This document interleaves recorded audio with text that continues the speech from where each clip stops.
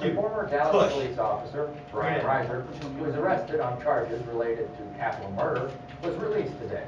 Prosecutors agreed that they lacked the evidence needed to move forward with the case. All charges of capital murder were dropped. Riser has served 13 years on the Dallas police force, but was fired Drop after it. he was charged Center in this investigation.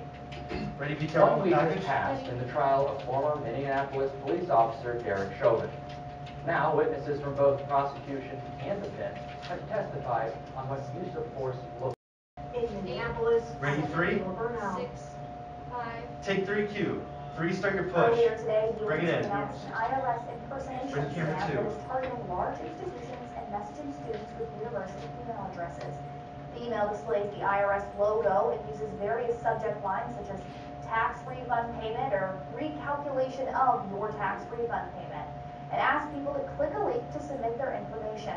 UNT advises students to read through the IRS's tax tips to learn more about the scam, as well as information about their identity protection PIN program. And take two. So, what are your plans for the weekend, Taylor? Well, weather. I'm hoping to go down to Dallas to Ready, visit weather, some friends, actually. Well, that sounds like a good time. Let's hope that there is some clear skies down south. What does Donald have for us? Roll. Dissolve. Ready, ready, weather. Ready, Donald? Dissolve. Cue Donald.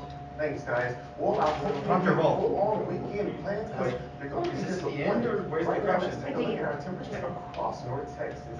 Seventy-seven in Graham, seventy-three in Decatur, and seventy-three in Denton. So roughly the same temperatures across North Texas.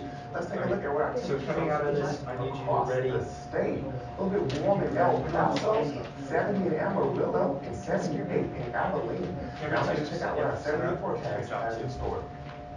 Today our hearts, today our eyes made it to You guys the ready with Jocelyn? And for the next two days, we'll be in the eighties. Gil. Fridays, You got Jocelyn ready? Weather aware, as some storms could be on the strong to severe side. Can you do Saturday news will be the weather? followed by a warm up Zach, on Sunday you do and possible rain Weather showers back? next Yeah. week. Great. And finally, we want to clarify a tip to stay safe Tell in Andy. severe weather. If you don't, if you find yourself in a tornado situation, don't take shelter under an overpass. Instead, pull off the road shelter in a building. That's all I have for you guys. White. Back to you at the desk. Cue. Thanks, Donald. Denton County is Ready, finding live, White? ways to end homelessness. Our reporter Jocelyn Lasser is Ready, have to live at the read? building that will soon become a refuge for Denton's homeless. White. Cue. Thanks, to third Andrew. end. I'm here at what was soon to be the new location for the new Denton's homeless shelter. Now, this building was at once was a nursing home, however, it is now set to be the new headquarters for the organization, the Junction of Roll. County. Take. Now, the purchase of the site was made back in 2020 with the hopes of expanding the organization's come back on operation and services. The new building is set to have four wings, a kitchen, program services, and two separate shelters.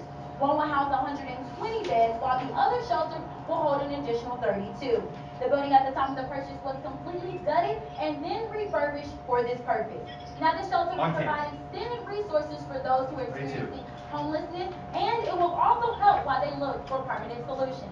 That's all I have here. Back to you in the studio. Take two. Thanks, Jocelyn.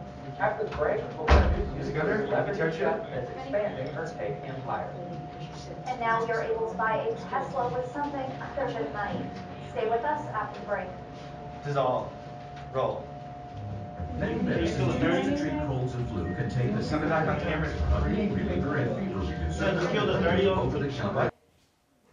All right, guys, near flawless show.